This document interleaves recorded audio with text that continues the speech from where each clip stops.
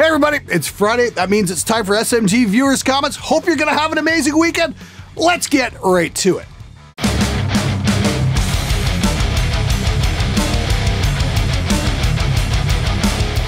Hey Glenn, I'm a 14 year old and I wanted to start with making my own music. The problem is I don't make shit for money and all I have is a computer, guitar, bass, and amps. Where do you recommend I start putting my money towards? Also, I've been a fan for a bit more than a year. Keep it up. Well, hey there, piece of cheese. Uh, first off, congratulations on being 14 and having that much equipment to start out with. I don't think I got my first guitar till, you know, I was about 15 and a half. And I didn't even have an amp till about a year later. I remember, you know, plugging a distortion pedal into my home stereo and practicing through that until I finally saved up enough money to get an amp. Uh, fortunately, you know, most people have computers and laptops these days, and amp sims are really getting good.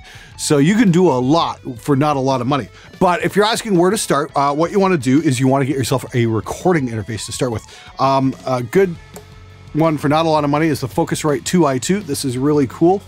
And um, Audient makes some fantastic ones as well. Especially if you're a guitar player, they've got the new one called the Sono coming out, and that's got a tube front end and it's specifically designed for recording guitar at home. And I'm gonna be demoing that real soon, so keep your eyes peeled for that. That's gonna be um, a reasonably priced interface that's going to just have stellar sound quality, which I think is going to be an amazing uh, solution for a lot of home recording guys. Stay tuned on that one. Hey Glenn, what are your thoughts on bands using EZdrummer on official releases? That may be my only option at this point as I still can't find a decent drummer. At the moment, it's just me playing guitar and bass. Yes, I do actually practice bass, and the vocalist. I can play drums as well, but I can't play at the level stylistically, and believe me, I've tried. Would it be worth recording with EZdrummer for one song and releasing it as a demo drummer wanted advert, then re-record it with a real drummer if by some miracle someone comes around? What should I do, man? Cheers from the UK. Hey, Tom, that's a fantastic question. Um, I'm sure you're not the only person in that boat, actually. Um, that's the thing. Finding a drummer who can pull it off is always going to be a challenge. Um, and then, you know, being able to record real drums and doing it justice is an even bigger challenge. And finding a drummer who works in the studio and whatnot, it's a huge learning curve. I can get it. It can be quite daunting. And so a lot of guys automatically default to EZdrummer because it sounds good. There's no question about it. Yeah, EZdrummer does the fucking job. I'm not faulting the program there at all. My problem is everybody uses the same fucking thing. You know, um, take a look at DrumForge or some of the other stuff, BFD or some of the other drum software out there. At least, you know, you can maybe get um, your own sound going on. And yeah, using that to recruit a drummer might be a cool idea. The problem with using EZdrummer is you're gonna sound, you're gonna wind up sounding generic because just so many bands are using that. Here's a quote from my good friend Ulrich Wild, who recorded Great Southern Trendkill and Deftones and, and White Zombie and, and Body Count and a whole bunch of really cool shit. Um, this is his quote right around New Year's. I'm listening to one of these new metal playlists. Can someone please use a different snare sample and change the preset on the Fractal for 2019? It's getting increasingly more difficult to tell some of these bands apart. Let's shake it up a bit. Happy New Year. I think that's a great idea. Yeah, let's try something a little different than doing the exact same thing everyone else is doing. There's nothing wrong with trying new ideas, and I encourage you guys to do that. Get out there and do something new and push the envelope. Good luck. Hey Glenn, is not using an impulse response on a professional level the same thing as using drum samples? I mean, we are using the mic technique from another engineer. I was debating that with a friend last night, and he said it's not the same because the player's playing style influenced the tone more than the drums. Sorry for my English. Cheers from Puerto Rico. Hey, Chris, uh, cheers from Canada. That's freaking awesome. Uh, love hearing from guys all over the world. I don't know uh, if we have many Puerto Rican fans, but um, definitely happy to hear from you. That's a good question, and I think your friend does have a point. See, the thing with um, yeah impulse responses yes you are using another engineer's mic technique absolutely and again it's all about maybe shortening the process because i know for me it took years to learn how to mic up a cabinet and get it to sound good. It just simply took forever because I didn't have somebody there to teach me how to do it. I mean, like these days now we've got YouTube and all that stuff, and you know, there's videos like how to record heavy guitar, which will help you shorten that whole process. But I mean, like if you're really confused and don't know what to look for in, in a tone, even to start with, yeah, the, the whole prospect can be really daunting. And that was what a lot of the Andy Sneap forum centered around was teaching people how to record metal guitars and get it right. Um, the big difference between using an impulse response and using drum samples is this. You're still getting a human performance when you use an impulse response because there's still a guitar player plugged into an amp and he's playing and you're getting the feel of that guitar player. The problem with drum samples is you're replacing your drummer's re- performance with somebody else's performance. Sure, he's playing that and, and it's mic'd and whatnot, but that's somebody else hitting the drums. And we've done this before, you know, whereas the guitar sound, a lot of factors go into getting the sound besides just the player. Um, a lot of people say the sounds in the hands, not so much with electric guitar. You can check out the experiment I did with four players, and we were shocked by just how similar the tones were. It really comes down to mic placement more than anything. But with a drummer, yes, the drum sound is most definitely in the hands.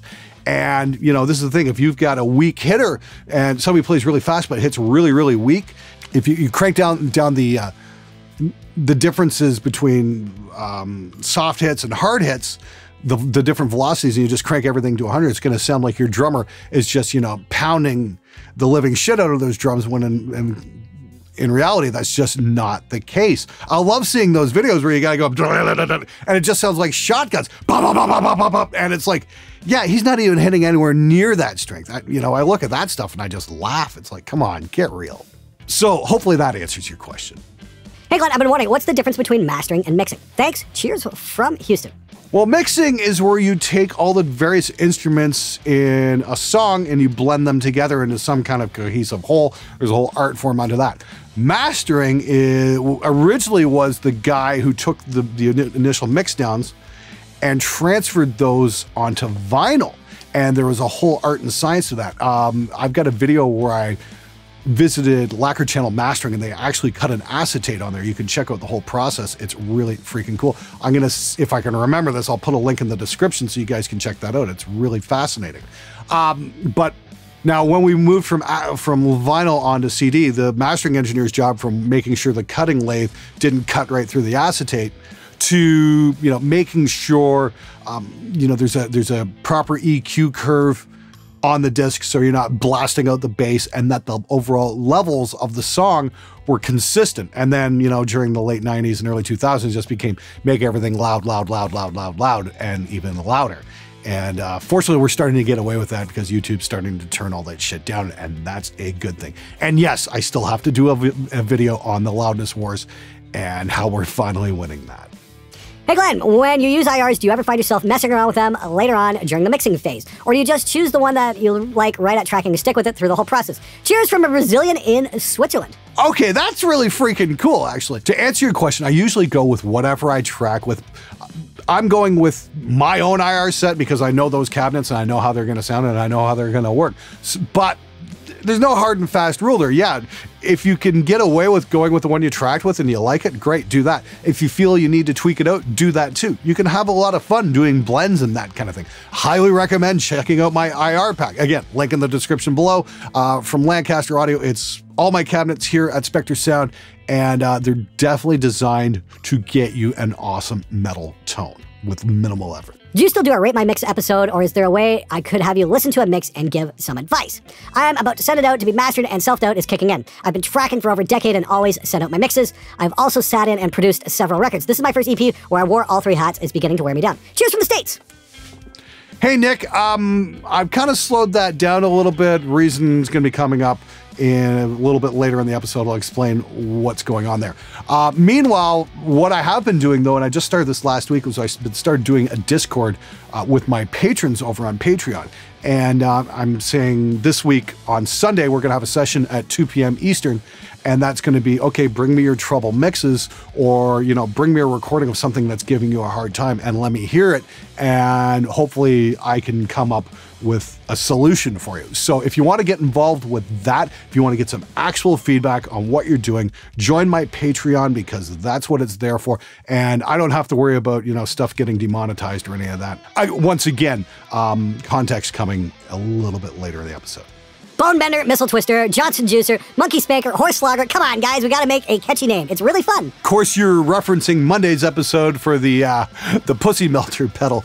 Um, personally, I like the idea of a Dolphin Flogger. That's my thing, but whatever. Anyway, you guys got great ideas for pedal names. Uh, list them below. Maybe we can make something happen. I have been talking with the company that did develop the Pussy Melter, and we might actually be doing the Cock Blocker gate pedal. So if you guys want to get one, let me know and. Uh, uh, we might do a limited run where you can actually order one online through my web store. Should be pretty freaking cool. Emma make an SJW pedal.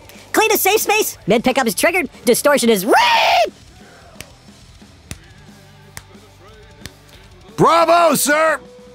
A crush mic? Am I hearing that correctly? Hey, Matt, thanks for writing. Yes, crush mic, you are hearing that correctly. We're not crushing an actual microphone, we're crushing the signal.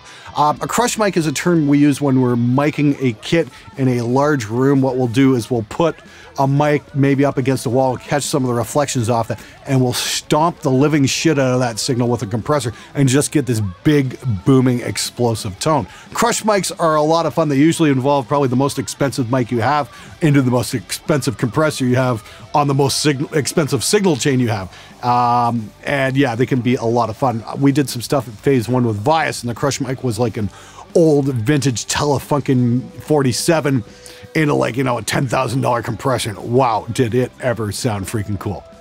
So you could try that at home with some of your, uh, with some multi-tracks and whatnot. But um, don't worry if you don't have, you know, the $10,000 compressor or whatnot. Uh, the Slate Distressor plugin is actually pretty freaking awesome.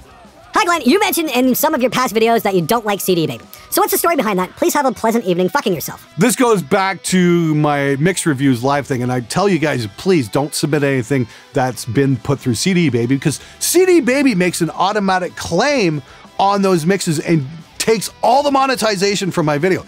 I've literally had songs that I've recorded in here, mixed, mastered, the whole fucking process, shot a video for with the band, and if I run it in background music, uh, in one of these videos, like viewers' comments or something like that, CD Baby will take all the earnings for themselves. Um, they don't have an easy system to get around that. They say there's a whitelisting system, but I've talked to some of the bands. They're like, uh, we don't know how to find it. It's really fucking difficult. So yeah, CD Baby, um, I approached them a couple years about that uh, ago about that. I didn't get really get too much of a reply till I did an episode. Then all of a sudden, oh well, we uh, we authorized those videos. It's fine now. And I'm like, well, you never gave me my money though. You guys kept that. So CD Baby is in the shithouse as far as I'm concerned.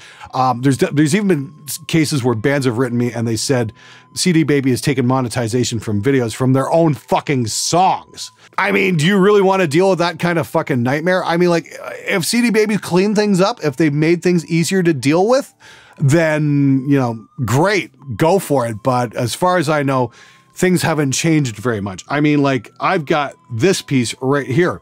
Video, live reviews of your mixes, Spectre Sound Studios, copyrighted content, the new regime, claimed by CD Baby.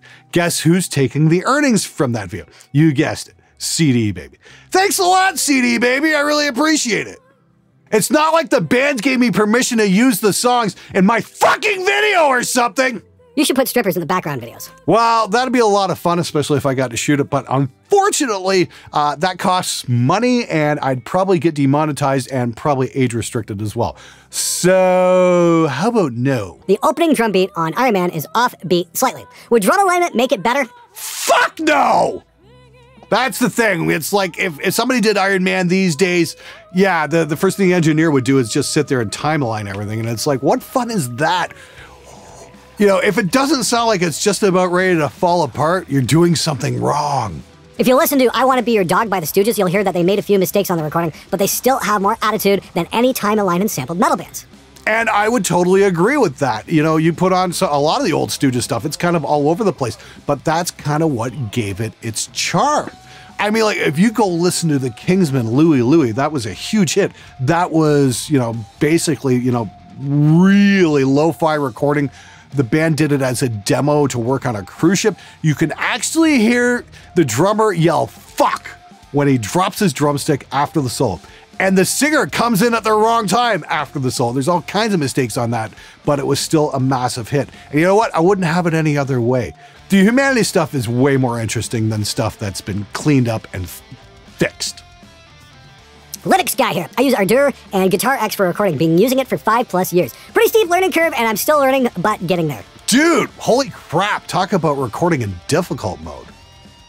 I've been asked to join bands until they find out I don't have transportation. They probably say, never mind, too many bands out there of good players, they can't drive. But they'll take a junkie who will steal everyone's gear. I understand where you're coming from, but a band does need to get gear to the gig, so maybe they figure there'll be less hassle dealing with the junkie than trying to find you a lift. I don't know, have you ever considered maybe getting your license?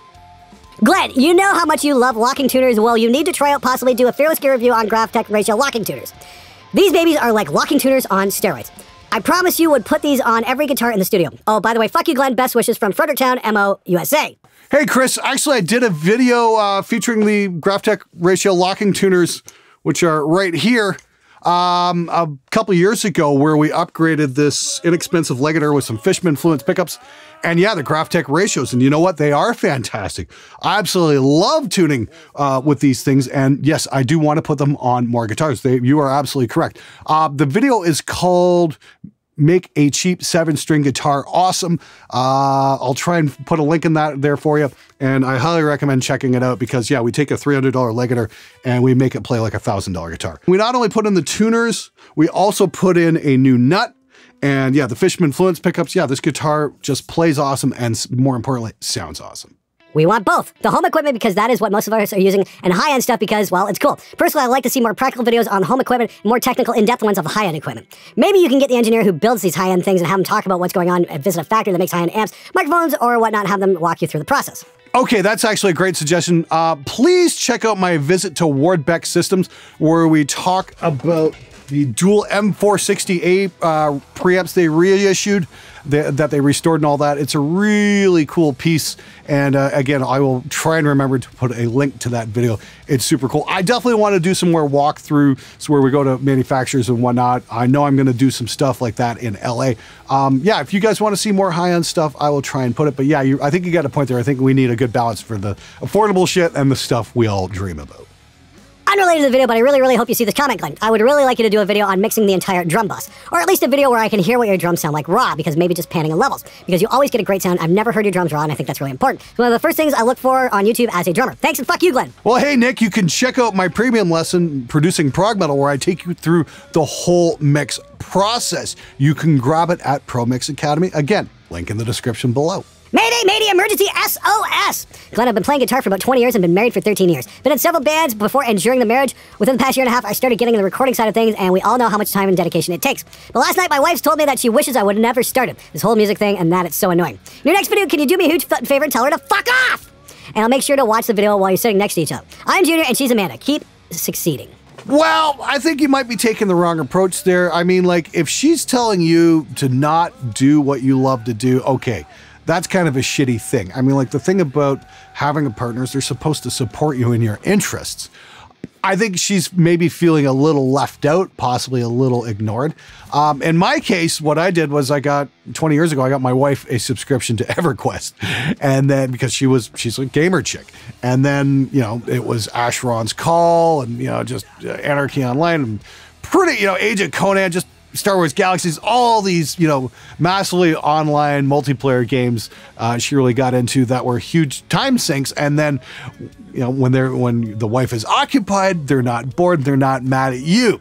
Um, I think Amanda, you do need to realize that your husband is not your home entertainment system and you should be able to entertain yourself. If he's going to do something, maybe you should back him up because it could be potentially lucrative. That and, you know, get a freaking hobby. But yeah, I'm not going to tell her to fuck off. Just maybe you guys should talk about it and, you know, maybe you can find something for her to do. All right, that's it for this episode. Thank you so much for watching. Once again, I'm going to be doing a Discord this Sunday for my patrons. So if you want to get involved and hang out maybe get some feedback on what you're doing, um, you can follow the link in the description below, patreon.com slash SMG. Thanks so much for watching. Hope you guys have an incredible weekend, and I will see you on Monday. Take care. Hey guys, if you like the video, be sure to subscribe as I post every Wednesday, Friday, and Sunday. If you want to learn more about recording, check out one of my tutorials or one of my gear reviews if you want the actual honest truth about a piece of equipment.